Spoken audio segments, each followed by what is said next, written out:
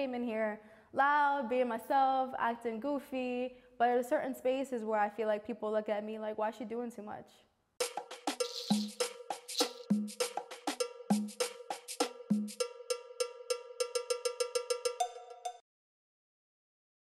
My name is Amber Paris. I'm from New York City and um, lived in Amsterdam for three years now. I am currently diagnosed with ADHD and dyslexia. Being diagnosed has helped me feel more affirmed in the things I used to feel frustrated about or insecure about. So I think it's just definitely built some confidence.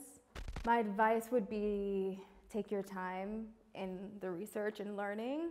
I think we can get really excited but eager for answers that we kind of like just rush to an answer, but the reality is there isn't like one day you'll wake up and okay, clicks again. It's going to be an ongoing journey with reading and speaking with people, right? So first step, definitely take your time, but also find people to talk to to feel like you're seen and you're heard.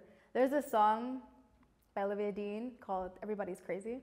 And she says, um, everybody's crazy, and I love that you know that too.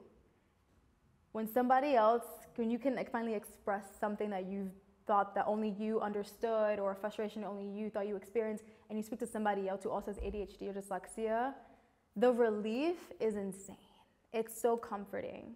And I don't think you get that same relief from a doctor, but when it comes from a friend or a friend, you know, friend to be, it really helps the journey coming ahead a lot better. I feel like having ADD impacts my um, love life and like how I navigate intimate relationships.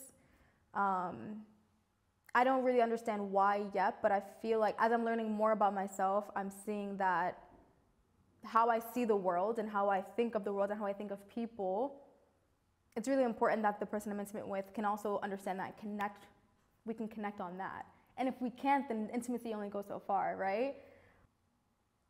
The standards, the expectations for girls is so different, are so different. I think people expect boys to be um, more hyperactive or like, oh, that's just boys being boys, right?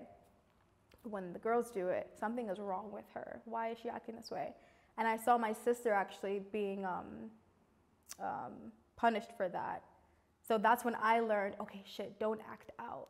You have to hide these impulses. So I sat quietly.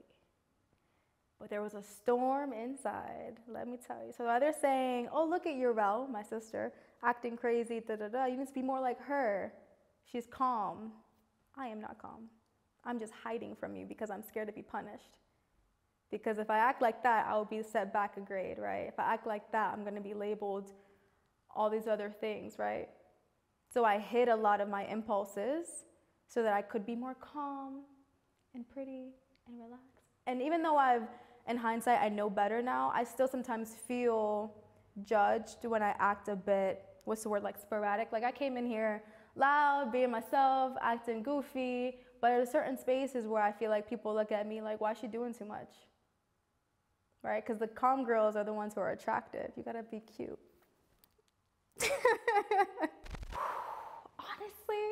Being a creative, I mean, I think everyone's a creative, right? So it's funny to say that, but being an active creative, a working creative, it's so beautiful when you start to learn how your brain works and how to use that as a superpower because it transforms your art in such a beautiful way. And everyone wants to figure out what their signature is, right?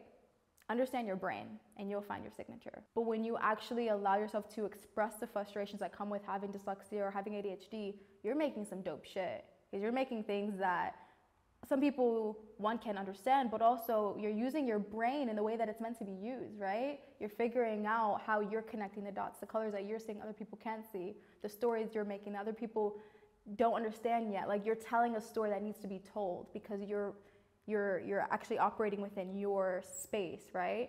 And when I started to write in that way and paint in that way and dance in that way, my reasons for creating changed. And that actually made me more bold to say that I am an artist because I didn't say that 10 years ago, right? It's crucial that neurodivergency is seen as a superpower because it's it allows some of the smartest, most creative, most critical thinking humans in this world to actually walk in their power and authenticity. That serves the people around them. It's not just for us. It's so we can do our jobs better, so we can be better artists, so we can be better friends, be a better boss, a better manager.